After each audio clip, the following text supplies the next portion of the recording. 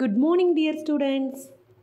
Today we are going to discuss the topic Unit 4 The World of Plants in Biology.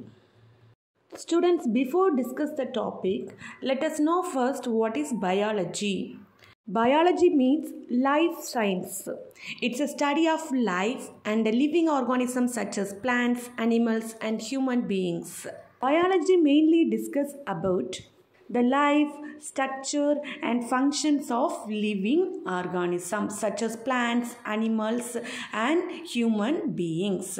Understand? Okay. So, what is biology? The biology means the study of life and the living organisms, including their structure and the functions of living organism. So, this is called as biology. What is biology? Study of life and living organisms including their structure and the functions of the living organisms. Students now look at this picture. This is a picture of human body. The human body are made up of many organs.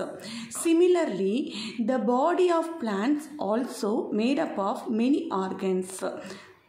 The body of plants consists of root, stem, leaf, flower, fruit and branches. So now let us discuss one by one. The first one is root. The root is a very important part of a plant. It found below the soil. Usually it is brown in color. It fixes the plants into the soil. The next one is stem. The stem is found above the soil. Stem support leaf, flower, fruit, branches in the plant. So what is the function of stem? The stem support leaf, flower, fruit in the plant. Students, the next one is leaf. The leaves are green in color and they involved in food preparations using sunlight. The next one is flower. The flower is the most attractive part of a plant. They involved in reproduction and produce new plant. The next one is the fruit. The fruit is the most colorful part of a plant. The next one is branches. The branches of the stem support leaf, flower and fruits. So these are the important parts of a plant. So students, like a human beings, the plants also have so many important parts in their body. Okay, students, once again we will discuss the part of a plant. The plant has some important parts. They are root, stem, leaf, flower, fruit and branches.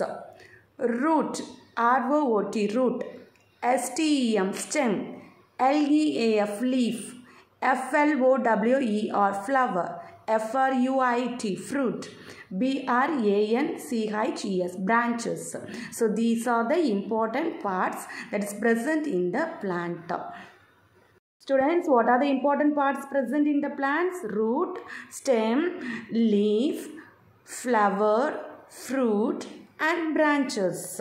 Students, once again read louder. Root, stem, leaf, flower, fruit and branches. So these are the important parts of your plant that helps the plants to grow well.